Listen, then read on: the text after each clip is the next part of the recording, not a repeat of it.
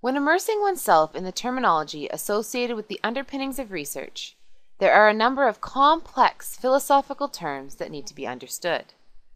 Please keep in mind that terms covered in this video are often debated, understood, and communicated in multiple correct ways. To fully understand them, you need to further explore them using the literature. A good starting point is the ebook on the website below this video. Research or inquiry is guided by a set of beliefs. This set of beliefs or worldview is known as a paradigm. A paradigm is essentially a way of thinking about the world. Guba and Lincoln define paradigms as basic belief systems based on ontological, epistemological, and methodological assumptions. They assert that there is no way to prove that one paradigm is superior to the others, which is why they are debated. According to Guba and Lincoln, these ontological, epistemological, and methodological assumptions are so interrelated within inquiry paradigms that answering one question limits how the others can be answered. Beliefs or views of the world around us have been debated throughout history in the field of philosophy, dating back at least as far as early Greece. The term ontology actually originates from the Greek word for to be. Ontology refers to beliefs about the nature of reality. In philosophical terms, it refers to the study of our existence and the fundamental nature of reality or being. Beliefs about the nature of reality therefore determine what can be known about it.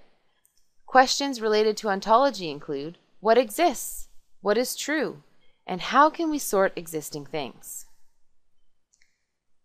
Epistemology and methodology are driven by ontological beliefs. Epistemology is more philosophical in nature than methodology. It examines the relationship between knowledge and the researcher during discovery. It therefore refers to how we come to know what we know. One's ontological beliefs will dictate how objective the relationship between the researcher and what can be known should be. Methodology is the way we go about discovering knowledge in a systematic way. It is more specific and practice based than epistemology. The appropriate methodology is driven by one's ontological and epistemological beliefs, since methods like experiments or interviews have varying degrees of objectivity. Bailey examines the philosophical differences between the two dominant paradigms in nursing research, which she labels as quantitative and qualitative.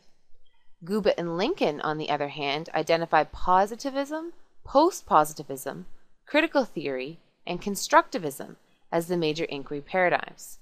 Upon examination of these terms, one can see that these two authors are talking about the same things in different ways. To begin, it is logical to discuss the ontology within each of these paradigms. From an ontological perspective, Bailey discusses two dominant perceptions of reality realism, and relativism. It is important to note that there are also perceptions of reality that fall in between these two strongly contrasting views of reality. Some terms used in the debate about reality have mild to strong ontological similarity.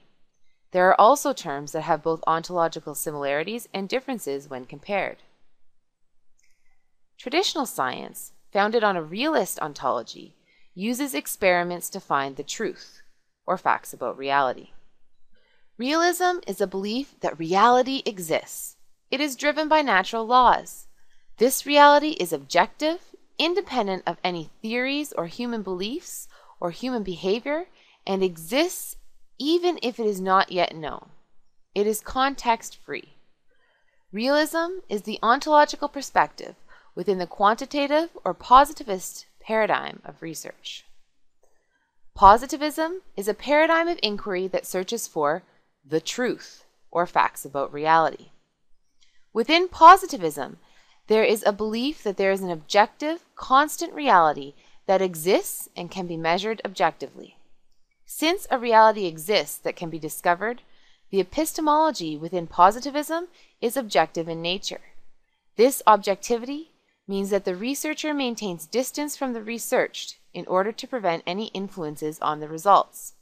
The methodology in this paradigm is therefore experimental or manipulative in nature, where hypotheses are tested and quantitative methods are viewed as superior. Measures are taken to control anything that may influence the research. Another term that is essentially the same as positivism is modernism. Modernism is based on generalized truths about reality. It emerged during the modern period in history where it was believed that reasoning, science, and technology would improve our body of knowledge and well being due to rational control of nature and society. Modernists search for certainty and permanent universal laws. Alternate ontologies have emerged that underpin newer paradigms of research. The strongest contrasting ontological perspective to realism is relativism. Research founded on relativism searches for meaning in the experiences of individuals. Relativism is the belief that a reality cannot exist without context. Relativists believe that there are multiple mental constructions of reality. These realities are influenced by experiences and social interactions. Each person, therefore, has their own reality that is considered correct. Relativism is the ontological perspective within the qualitative or constructivist paradigm of research. Constructivists believe that individuals or groups construct meaning or reality based on interactions with the social environment. We do not find knowledge, we construct it. It is therefore possible to have multiple, socially constructed realities that are considered correct. Constructivists reject the notion that unobjective reality exists.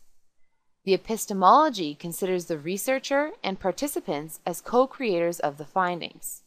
It involves interaction between the researcher and participants.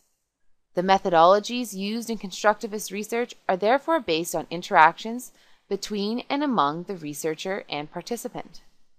A consensus is sought within the findings. Qualitative methods like in-depth interviews are used and context is well described. Between positivism and constructivism, there are paradigms that combine varying degrees of both of these opposing perspectives. Postmodernism represents a range of viewpoints and is therefore impossible to define.